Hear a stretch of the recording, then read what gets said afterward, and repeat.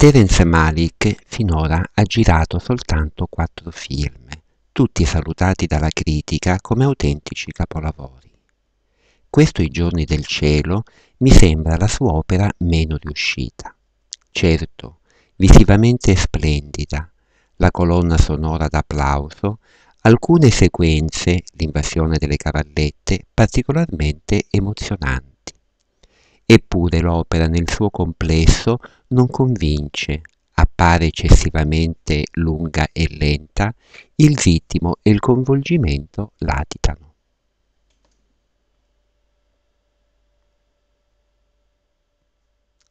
La storia, in puro stile melò, è interessante, ma la si segue con scarsa convinzione.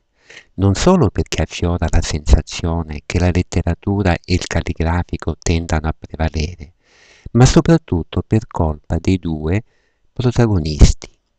Richard Gere è decisamente fuori parte, troppo da mirino, troppo elegante per un ruolo da operaio contadino che lotta per una vita migliore.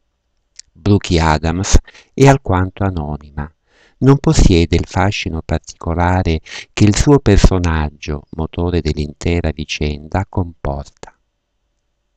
Il migliore è senz'altro Sam Shepard, come al solito bravissimo, nel suo ritratto del problematico e sfortunato feudatario. Insieme intimista e corale, ritratto di sofferenza umana e quadro di un'America ancora vista come un sogno mitico, i giorni del cielo, nonostante i difetti, merita la visione. L'aspetto formale è dei più accattivanti, la regia è pur sempre di un grande autore.